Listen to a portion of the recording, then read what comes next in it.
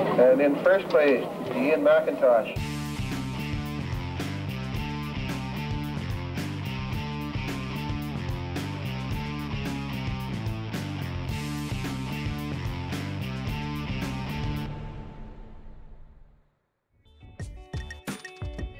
When I look back to Lost and Found and Under the Influence and Recession, we had basically started the TGR Pemberton sled show.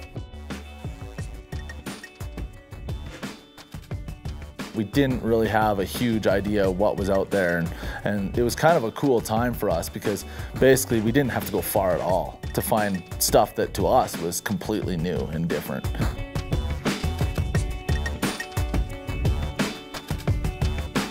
Dana and I truly believe the Pemberton area is basically like mini AK.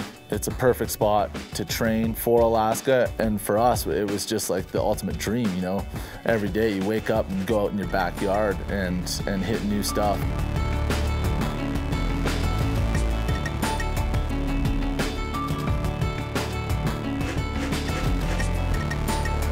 I definitely feel like I grew within that space and learned a lot about what it takes to, you know, get out there and find new terrain and, and how to decipher a topo map and be able to be like, okay, we're gonna be able to get in here with our snowmobiles and, and this potentially has the opportunity to be an awesome zone.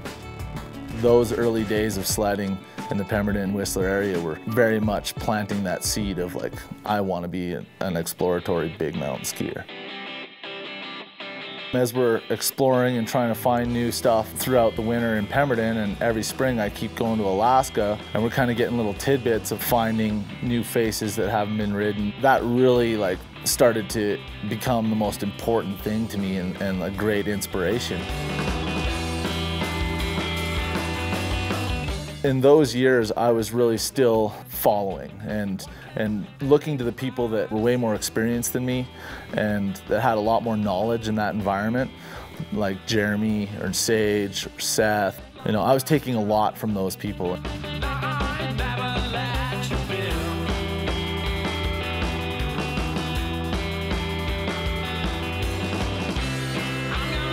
And so at the, at the time, you know, I was still learning a lot and really starting to get more and more comfortable in that environment, but at the same time, wanting more.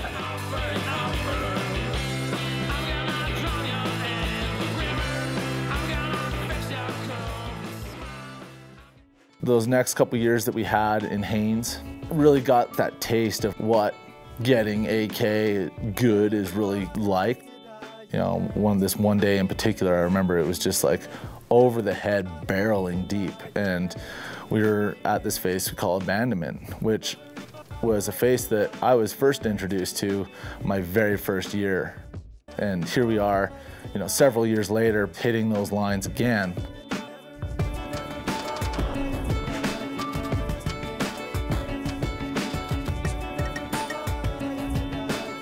Even though it was an awesome experience and truly amazing and the snow was unbelievable, it was like, this isn't what Alaska is to us. Alaska is to us what, what it was for TGR back in the earliest days when everything was a new experience. When they discovered Haines, it was like this vast world no one had ridden before and, and we wanted that experience that's definitely like fueled that whole like exploration vibe, which I guess ultimately led to where we have been in the last few years in Alaska.